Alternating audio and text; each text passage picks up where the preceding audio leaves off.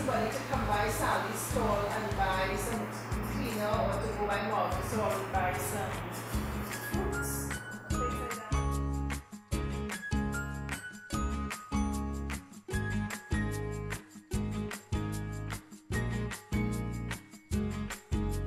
So yeah, there were five months of workshops, uh, particularly with the children. We did a number of table readings, including the adult actors. I've done some acting on stage and some for television.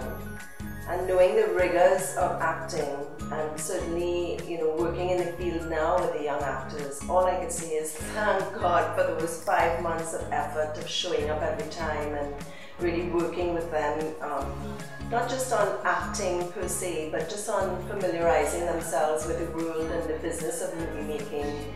That every time you have to do over a take, it's not necessarily always because of you, which has been one of the things that the young actors feel a bit insecure about. When you hear cut, let's do it again. Is it something I did wrong, you know? And really coaching them in that to understand that there's so many things that have to get, be, be tweaked. Lighting, sound is a problem, many, many things. Um, we did work with cameras in studio. They did work just on learning to be a team and a unit because one of the storylines involves uh, bullying and we didn't want that storyline to spill over into the reality where the children get confused that um, Alyssa is Sally and it's where you know the treatment of the Dindi Alberts towards Sally is not actually towards Alyssa. So we did a lot of work with them on learning to be professional in their role as actors. Everyone who does theatre knows um, the mirror is a sort of standard that we go to. It's a way of teaching uh, being grounded in your own attention.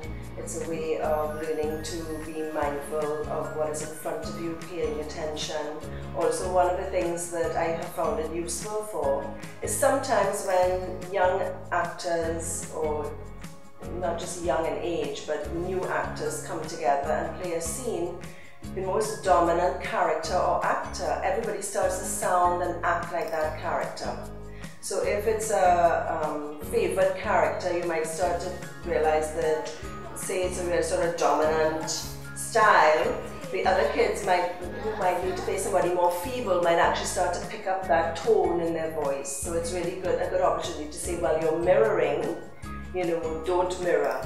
Or sometimes you actually do want an actor to mirror um, what is coming at them, you know, if it's an emotion that um, they have to receive, you know, how do you react and respond to that? So just being able to play with the mirror, the number of exercises we use, particularly Viola Spolin is somebody that I've been very inspired by and have used a lot in my workshops for both adults and children. And um, we did a lot of that, um, what they call theatre games, um, so that the kids could really have a grounding before they get into the field with the rigors of filmmaking. There's too much thinking going on still. I want you to show me that rope. I want to see all the fighting you're doing. I want to see the rope. Where is that object between you? Show me, remember how you showed Auntie that yellow ball this morning? Yeah. Why? Because you used your concentration and then feelings start to show in your body and knowing that one of the things we really need the kids to do is to be is to, is to get into their lines in such a way that they can really play with it manipulate it express any emotion with it um, that was definitely one of the exercises that I wanted to focus on have them just say their line and then say it with a different tone say it with a different emotion and sort of introduce them to how flexible language is and how flexible their delivery is so that they would have a choice. And one of the things that I've learned from wonderful people like Eleanor Mary Camps and Tony Hall is that you have to be bored with it to some extent. You have to like say the line so many times that it means nothing before you can really infuse it with the meaning that you want. Freeze! Alyssa! Everyone flash just entertainment. And walk!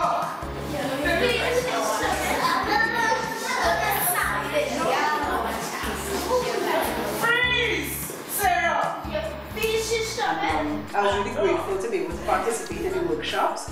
Um, I couldn't participate for a while because I was pregnant and I was really ill. But um, for the ones that I got to participate in, I really felt that it was important to help the kids learn about flexibility and choices as actors.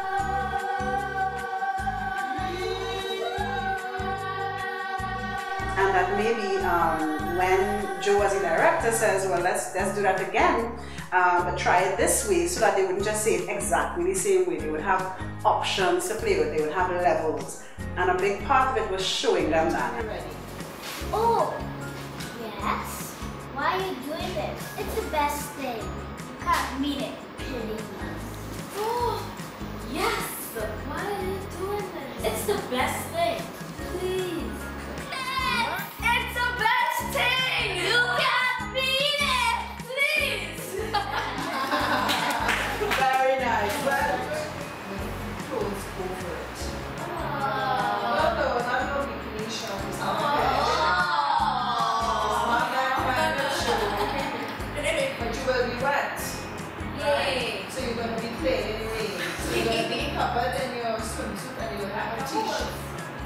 To have a t-shirt and tights.